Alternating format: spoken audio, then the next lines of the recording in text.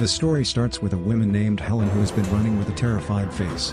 When she reached to the road her father jumped from the roof of the building and falls right beside her. She was frightened by this. Helen runs to the road and accidentally hit by a car. Then we see Helen in the hospital. Helen wakes from coma and sees her husband Greg Tilley came to talk to her. She get news that it has been a year after the accident happened. Not only was she the last person to see her father alive before his suicide, but that she is also now a mother to Heidi, a child she has no memory of ever carrying. Helen was very shocked by hearing this and can't remember something before the accident.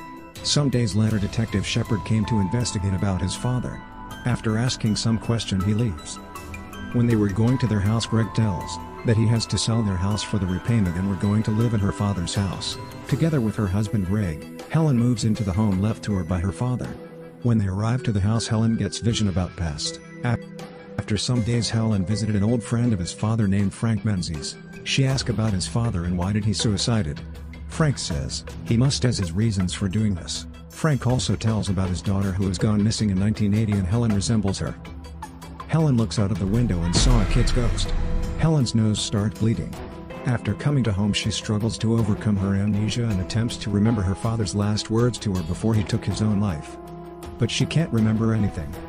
Greg goes out of the town for a conference, he says he will be back in few days. At night Helen wake up from having a bad dream. She then hears knock on the door. She goes to check, and saw a kid was hitting the door. Who are you?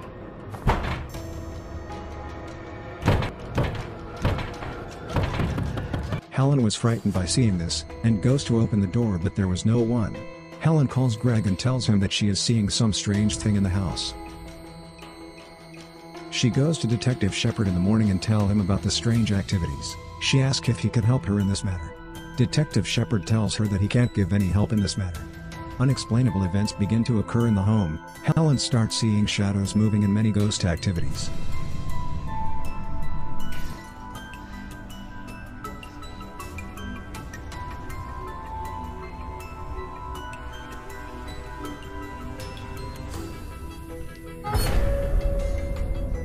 At the next day Helen invite a psychic investigator named Stuart. It could possibly be. They try to communicate with the spirit of the dead suddenly there was a high-pitched noise and Stuart start writing something like he was being possessed. When the high-pitched noise stops they saw what was written on the book, there was six names. She start to investigate with these names.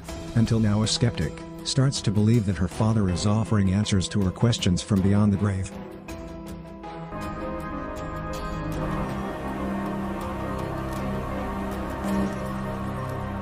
But when the paranormal events turn ever more violent, Helen discovers that she is being haunted by the ghosts of children with the unique ability to inflict their pain and anguish on her.